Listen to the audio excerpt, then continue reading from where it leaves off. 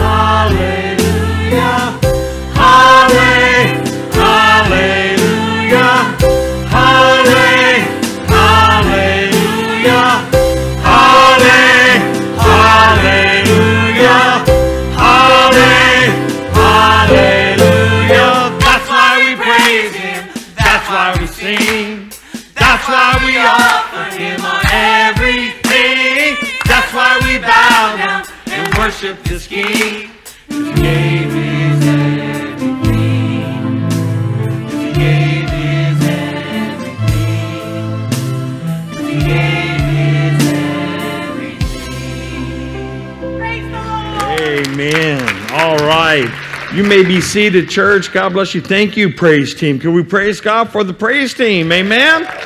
We have a flautist again. Praise God for Christy, and we love our bass player too. Ooh, it's so fantastic. Good to see you, Caitlin. Thank you. Hey, listen, um, I don't know if you know this, but uh, my tribe, my tribe has grown by one. And uh, amen, amen. And I was handing out these handy dandy bubblegum cigars for a while, but I'm all out of them. And uh, I just want to praise God for my new newest grandson, Titus Andrew. Amen. Amen. When I, now I don't smoke cigars, but I do chew bubblegum. Whenever I hold a cigar, I'm always reminded of Groucho Marx. You know, that, that's the prettiest baby I ever saw. You know.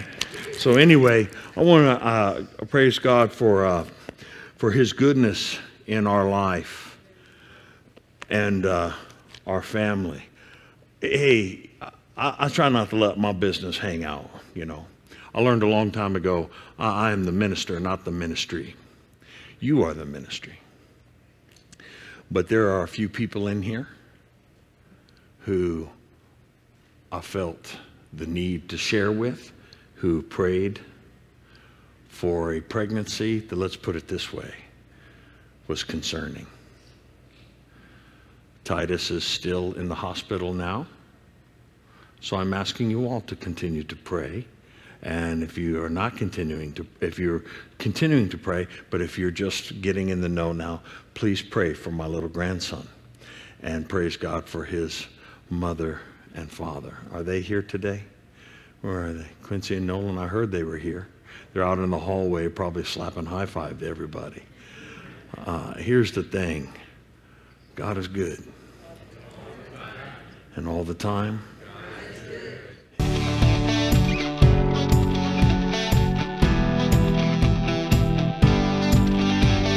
Amen. Won't you bow with me as we pray? Father in heaven, greatest God Almighty, I thank you, Lord, for this day. I praise you, Father, for what you're doing in our midst. I pray that you'll help me to preach and teach your word today, Father, that uh, there will be something for each and every person uh, in, uh, here present, uh, listening online, YouTube, the website, whatnot, even the radio. Please, God Almighty, use Desert Hills. Use me today. I love you, Father. Thank you for the life of our babies.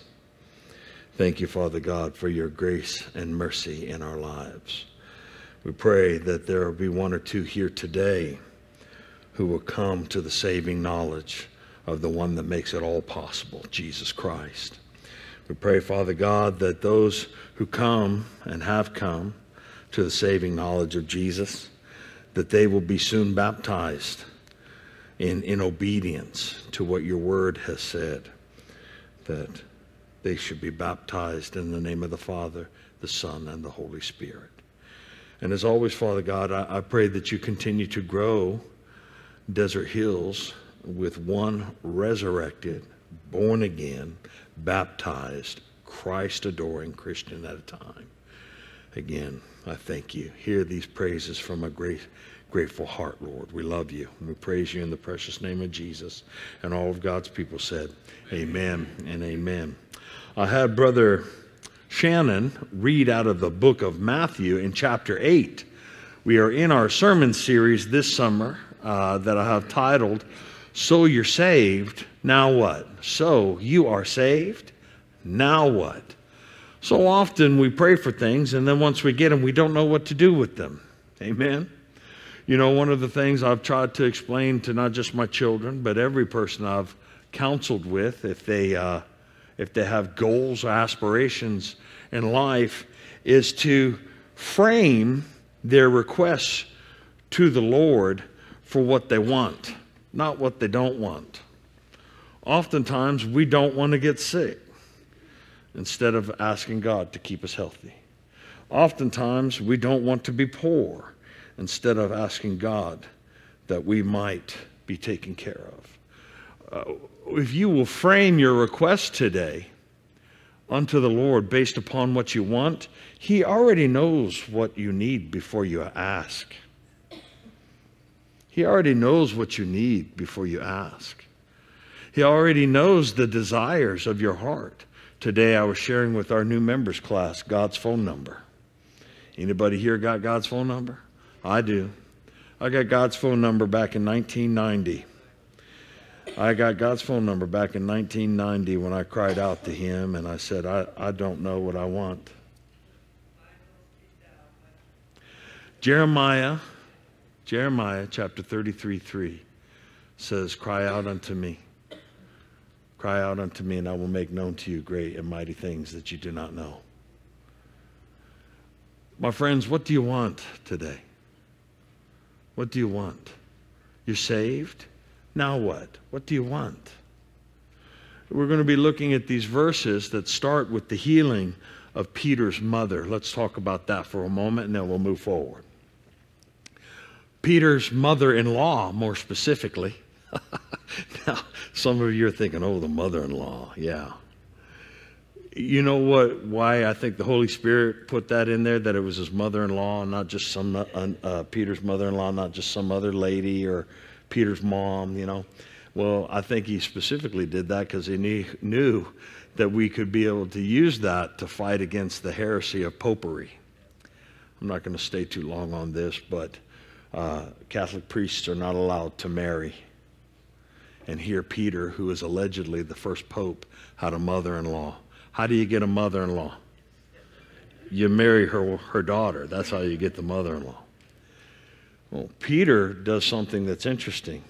He brings Jesus to his home. He brings Jesus to his home. How many of us will run home today and, and not bring Jesus with us? How many of us will get in, into the car and turn the radio on and tune out the Lord immediately? How many of us were raised in homes where Jesus was never introduced, let alone welcomed. I want to encourage you today to take Jesus with you everywhere. He is everywhere anyway. But if you will take him with you everywhere, he is able and willing to heal people from unbelief. Unbelief. The healings that Jesus Christ did in the New Testament, you have to know this, they're typological in their performance, if you will. Jesus Christ came and as he healed the lame, as he made the blind to see, as indeed we have spoken, cleansed the leper, he did so as a fulfillment of Old Testament prophecy. It's not that God wants everybody or no one ever to be sick. No, we live in a lost, dying, and fallen world. People get sick. And I don't know if you're aware of this, but let me share a uh, statistic with you, tried and true. 10 out of 10 people will die. There is no one except for Jesus Christ who has risen from the dead and will live forever. My friends, hear me when I tell you this. The, the healings that Christ did uh, were a fulfillment of the prophecies and foreshadows that were demonstrated or spoken of and written down in the Old Testament. Today, when we look at this, uh, and we look at Peter's mother in law, bless her heart, we're going to look at someone who was figuratively healed, literally healed from a fever, but figuratively healed, if you will, from unbelief unto belief in Jesus Christ. You know, uh, Jesus himself said, If you believe me not for what the word says about me, at least believe me because of the signs and wonders I do in your midst. Hocker's paraphrase. Christ came and he did these things as a proof of who he was. Why? Because of the purpose for which he came, which was to seek and save the lost, to die for the dead sinner, those who are dead in their sins and trespasses, that they might be made alive with him unto God the Father. If you're here today and you feel distant from God, maybe you're dead to him. You know how to fix that? Received the Son. You say, I feel distant from God. Well, God is only as far away from you as you want him. Jeremiah 33 3, you go home, look that up today. You put it on your fridge. You put it in your bathroom. It's one of the greatest biblical affirmations that you can have. We decided today in our new members class God is everywhere, God knows everything, and that God is love. If God is love, He loves you, and all you need do is call unto Him. And He is there. And He is a very present help in a time of need. Here it says in Matthew chapter 8, verse 14, when Jesus come, un, in, uh, come un, into Peter's house, he saw his wife's mother laid and sick with a fever. Sick with the fever. Now, you know, I, I remember when um, my son was born, he'd get a fever and we would flip out every time, you know, because it's our firstborn. And every time they get a boo boo, you kind of freak out. But in the 21st century, a fever is not the end of the world, but a fever could very likely kill you in the first century. There's no aspirin to take, you know, and, and depending on the time of the year, there's no way to get cool or to cool people down. This woman was laid with a fever, and he touched her hand, and the fever left her. Now, before, before I move forward, I want you to know he is the great physician. Jesus Christ does have the power to heal. He's just not obligated to do so. My grandson is testimony of God's miracle work and healing work even now. Know this God will heal one of three ways. He will either heal miraculously, He will heal uh, naturally, or He will heal medically. But He's not obligated to do so. But it doesn't hurt to ask Him. Amen. So if you have an ailment today, if you're not feeling well, if you feel sick, I got a miracle man over here. His name is Art. I got another miracle man in the back row. His name is Rick. He's sitting next to his miracle wife named Rosa. We got another miracle woman over here by the name of Judy. Got another one up here by the name of Joan, uh, Joanne. Listen to me. Miss Yoli, Brother Ken, I can go on and on and on about the miracles that have happened within our midst, medically and physically. But the greatest miracle of all are those who come to Jesus Christ by faith because they will never die. We can be healed and then we will die. So let us not always and only focus on the temporal, but I don't want to just bypass it. Thank God that Jesus healed Peter's mother in law of this fever. So she was healed. Now what? Same question. So you're saved? Now what?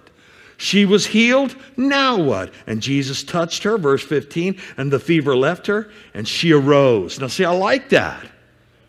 Peter's mother in law doesn't sit and say, Oh, I'm healed. Time to take a nap. You know, my favorite type of people in the world, people always go on vacation, and when they come back, they go, I need a rest. I'm just exhausted. Hey, man, if your vacation is not restful, you need to do something else for your vacation, you know? But what do we do? We, we work hard at our play and we play hard at our work. That's what we do. And I find the same thing in people's spiritual lives.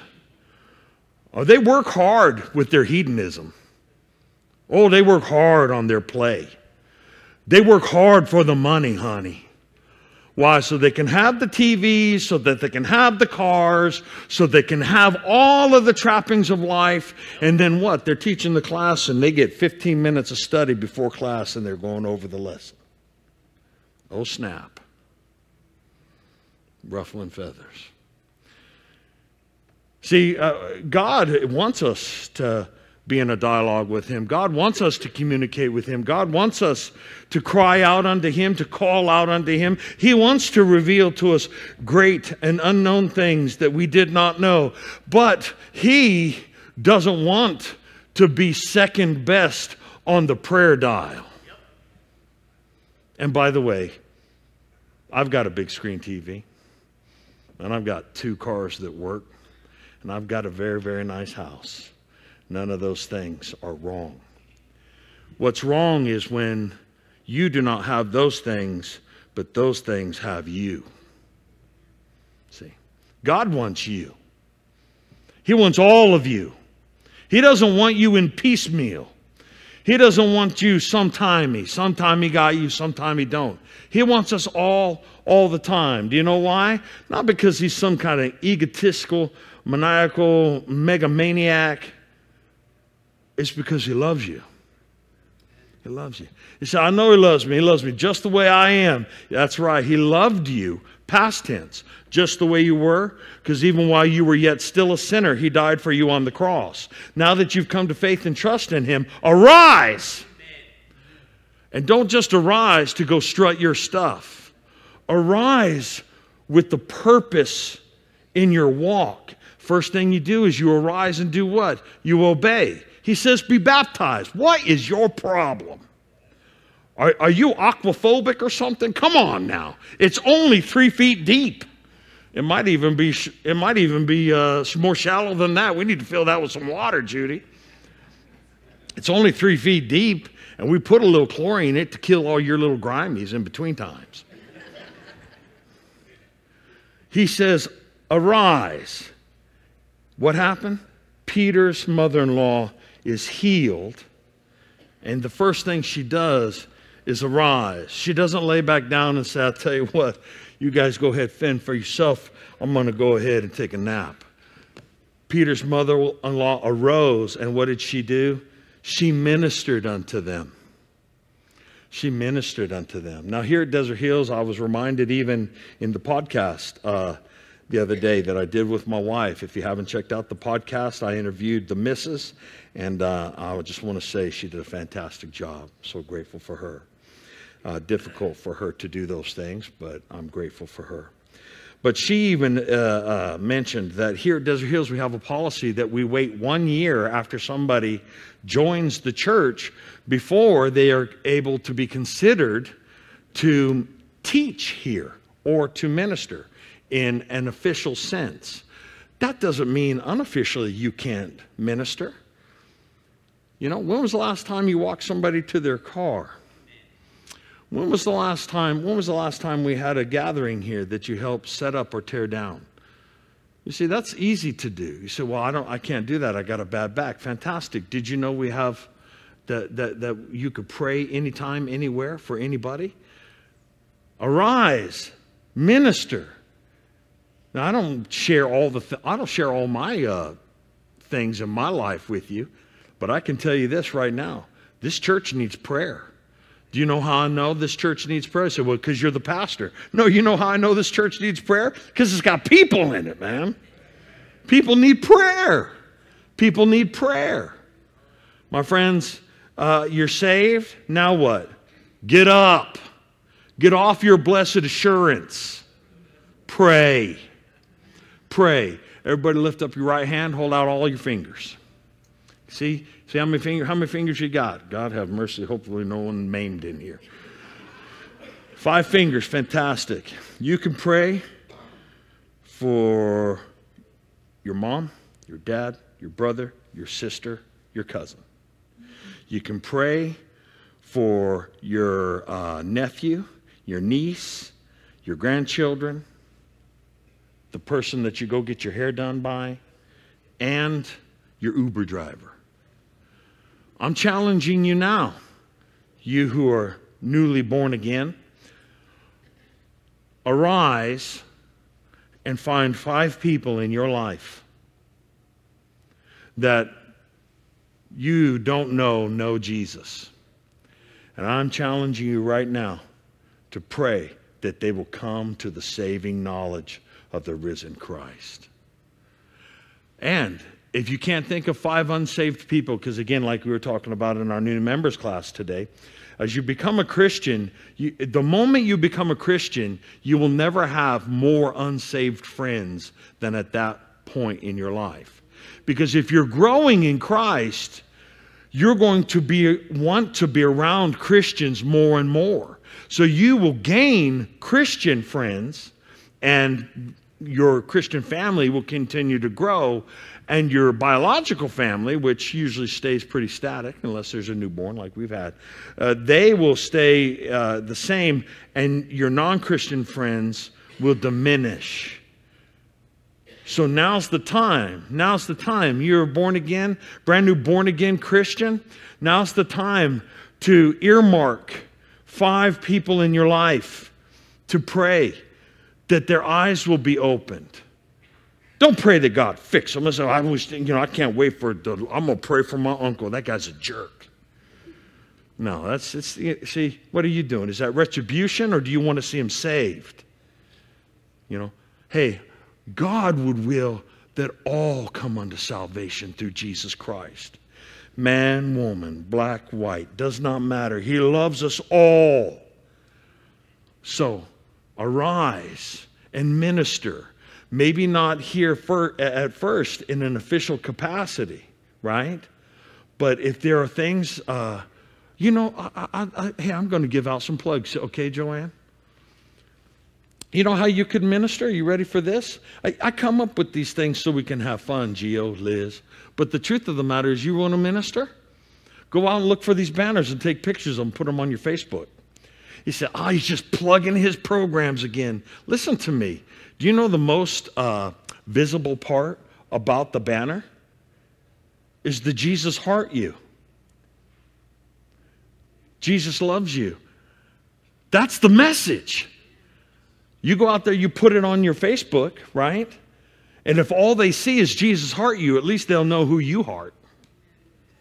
Right? You put it on your Facebook, you get likes and shares. You don't know what God's going to do with that. The simple message that Jesus loves you. My son in law sent me a, a, video here recently of Tim Tebow. Tim Tebow was recounting uh, about a playoff game or a game that they won in order to go into the playoffs. And uh, I, I, don't know if it was a trainer or someone, uh, uh somebody close to him called him and said, Tim, can you believe what just happened, you know, after the game? Tim says, oh, yeah, you know, it was amazing. We won this game. We're going to go into the playoffs. He goes, no. And I'm probably going to get all the stats wrong, but just bear with me, you will get the picture. He says, um, You threw for 316 yards. It, it was 3 and 16 when you converted the pass. Three, it was third down and, and 16 yards, so you completed the pass. We're exactly three and some odd day or 16 whatever all the numbers lined up to 316 but here's the key he was wearing 316 you know on his eyebrows or think right here on this he was wearing john 316 and he said millions of people google has reported that millions and millions and millions of people have searched john 316 through google after the game Man, John 3:16, you would think everybody knows John 3:16. It's the love of God that compels us. Amen. It's the love of God and by his mercies that we are saved and that we arise and minister to others. Verse 16, and when even uh, was come, they brought unto him many that were possessed with devils and cast out the spirits with his words and healed all that were sick. Hey, do you think they told somebody? Word gets out about Jesus. Word gets out. Wednesday night, I, I spoke and I said, you know, if, it, if, if today somebody were uh, to rise from the dead after being buried in a tomb for three days, it should be front page news, you would think. I don't know, in today's modern media, they probably spin it to say something crazy. But what I can tell you is this He has risen. And we ought to talk about it because it's the only thing that matters is eternal life with God the Father. They indeed told someone. And it goes on in verse 17 that it might be fulfilled, which was spoken by Isaiah, uh, Isaiah the prophet, saying, Himself took our infirmities and bear our, bear our sickness. Turn with me to uh, Isaiah 53, if you will. Isaiah 53. Now, this is key because the health, the prosperity, and the health and wellness gospel preachers will tell you that God doesn't want you sick and you need to rebuke your sickness. Hey, if I don't feel well, I say, I, just, I don't feel well. I just call it like it is and I ask God, God, help me feel better. I don't feel well, help me feel better. If I'm sick, I say, God, I think I'm sick. I don't know what I got, but help me feel better and help and heal me. Well, here in Isaiah chapter 53, verse 4, Matthew quotes this as a direct hearkening, a direct a touchstone, if you will, back to Jesus being prophesied before he came. What is prophecy? Well, prophecy today in the Old Testament is, is the foretelling of our history. prophecy in the Old Testament is the foretelling of our history, most of it. There's still some that's going to be coming true, even as Jesus Christ will return. And he's going to smite the nations with the word. But here, here, Isaiah the prophet says, Surely he hath borne our griefs and carried our sorrows. Yet we did esteem him stricken, smitten of God, and afflicted. Smitten of God and afflicted. Turn with me to 1 Peter. 1 Peter in chapter 2. 1 Peter in chapter 2.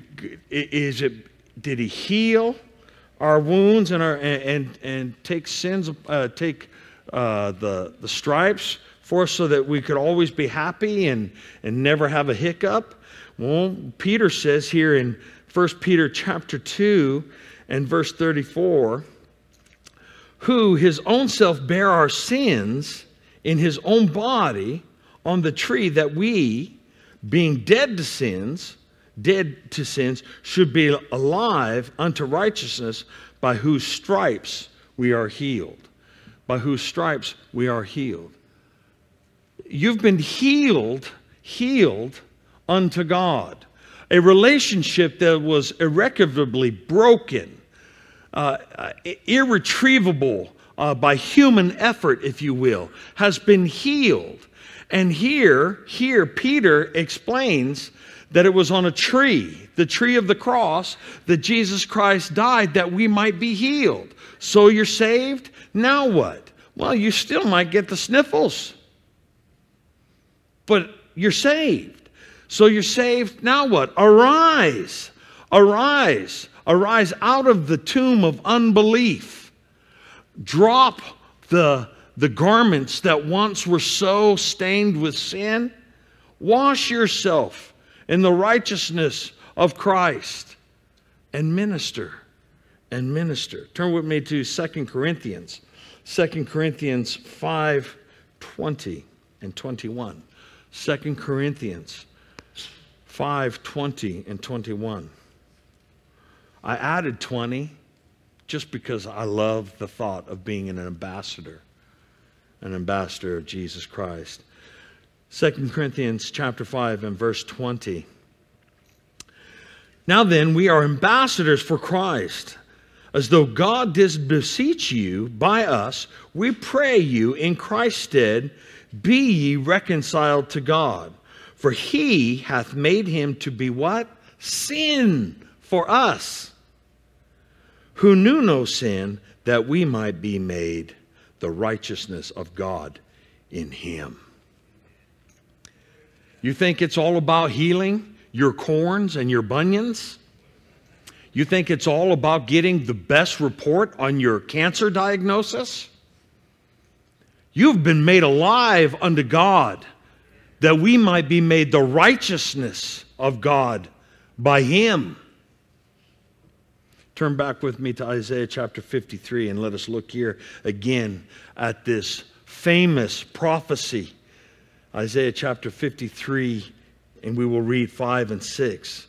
But he was wounded for our transgressions, he was bruised for our iniquities.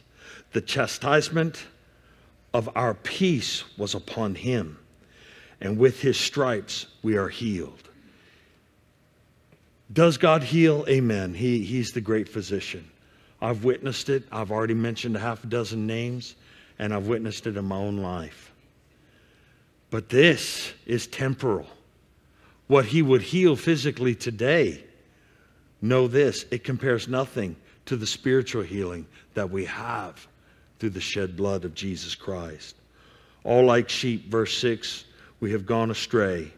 We have turned every one to his own way, and the Lord hath laid on him the iniquity of us all. Christ took our punishment Christ didn't deserve to die. Fact of the matter is, if Christ hadn't sacrificed himself, Christ would have never died. Why? Well, because he hadn't earned it. See? See? The wages of sin, you earn a wage. Anybody here work for a living? Amen. You earn a wage. The wages of sin is death. Ah, but the gift of God is eternal life through Jesus Christ. The gift of God is eternal life through Jesus Christ. No, my friends, I will tell you today that if you are a born again believer and you have been baptized, it's time to get up and begin to minister. Is the world getting better? You know, I remember, I remember years ago, this is a long time ago. Everything seems to be years ago now. Years ago, when I made the proposal for uh, our solar panels. Thank God for the solar panels, you know. I made the proposal for the solar panels to our uh, financial team. And uh, remember that, Georgianne? We were sitting there, and boy, we just thought, well, that's a, that's a hefty chunk of cash. I said, well, they want us to have some skin in the game, and I like that. We take some ownership in this, see what God does. Say, Lord, we're going to step out on faith. By the way, just a little, little plug about faith. The waters don't part until you get in them. There was one thing, Moses was there. He, he said, Let the waters part, you know, staff over the waters, Red Sea. That's when you baby. Ah, but once, you, once you've gone through those waters, guess what? Put the foot in the water, the waters will part. You know, that's a whole other story. But I said, You know, I made my best pitch. You know, I thought I was on like, um, what is that show? Uh, what was Trump's show where he, says you're fired? The Apprentice. I thought I'd go in there and make my best pitch for this because I thought it was a good idea. So I made my best pitch and I said, here's the thing summer's not going to get any cooler. Summer doesn't ever get cooler here in Las Vegas. I mean, we, we, have a, we had a, a few days extra of less than 100 degree temperature. Praise God for that, right? And, and the other thing you can count on in Las Vegas is that the, the summers will never get any cooler and, and very rarely, very rarely, if ever, do, does the uh, power or the energy rates go down. Now, they say they go down, but see, it's just like anything else. They up at 10 bucks and then down at two. So you're paying an extra eight and you thank God for that. But I said, I could guarantee you this whether we get the solar panels or not, whether God provides for them or not, whether we step into the water and the waters will part or not, it's not going to get cooler in the summer and the power bills will just go up. Well, thank God Desert Hills had enough faith to move forward. And now, what do we? What Judy had a thirty-two dollar power bill the other day. Well, what's holding you back? You got to get up. You got to move. Faith, faith is an action word. Faith is an action word. It's not an adjective. It doesn't describe something. It's an action word. Faith requires faith requires us to do something, not to be saved, but because we are saved. That's the difference. See, one would say, well, if you don't do A, B, and C, you can't go to heaven. I would say I do A, B, C, and D, E, and F because I am going to heaven. Not out of a fear based religion that I'm not going to please God or I'm going to upset God. But by faith, I look at the scripture, and the scripture tells me it's impossible to please God without faith. And he likened it unto Abraham as righteousness because he believed God. But he didn't just believe God and sit in a corner, he believed God and he got up and he did what God said to do what God said to do. So you're saved.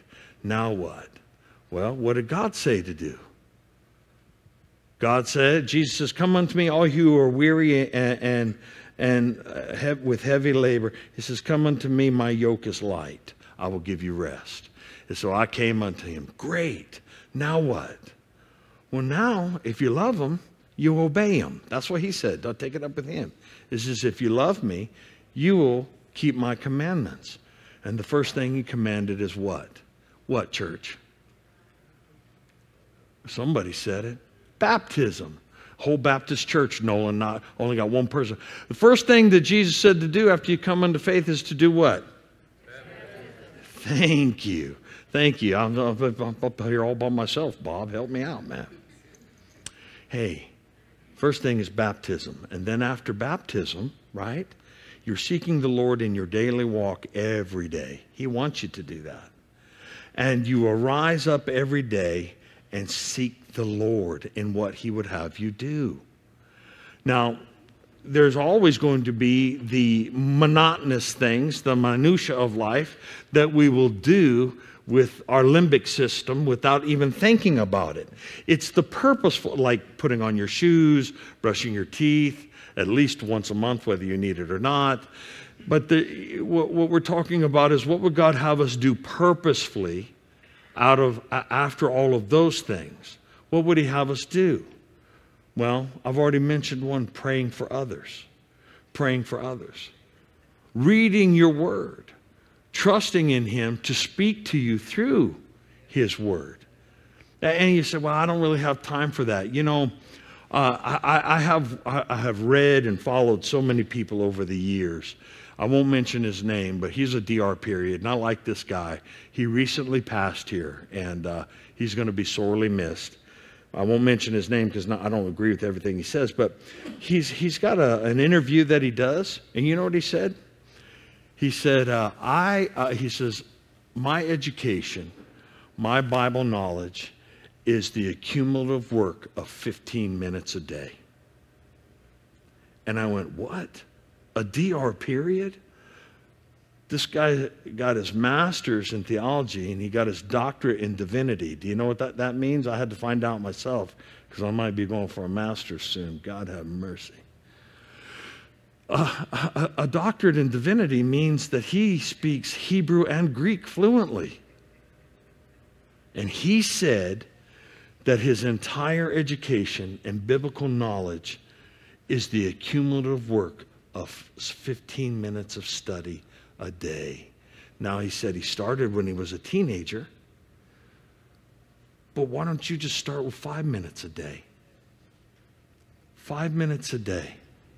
You know, here at Desert Hills, we're doing everything we can to reach everybody that we can. I write a devotional Monday through Friday on Instagram. And trust me when I tell you, it is not because I'm some kind of egomaniac that I need your, your likes and your views. I, you know, I can't say I could care less because it is kind of cool when I see somebody heart something I've done or comment. That's kind of neat, but I don't live for it, you know. I, I do it because you know what? I think if they're going to be reading something on the internet today, maybe they'll read this verse and some thoughts about this verse.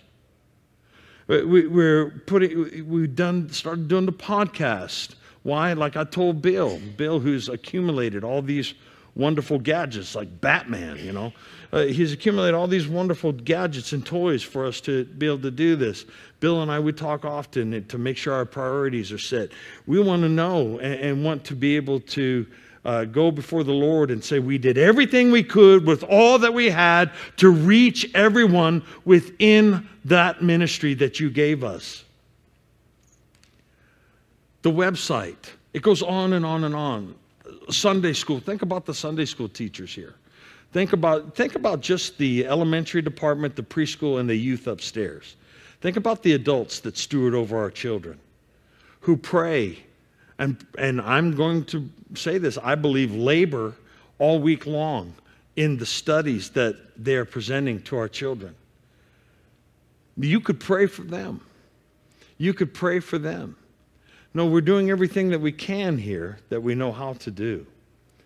If you are newly born again, the first thing to do is to be baptized. Well, we know, as with the leper, the first thing to do is to praise. Praise God. And then after praising Him, what do we do? Well, then we're baptized and continue to move forward in that vein of obedience.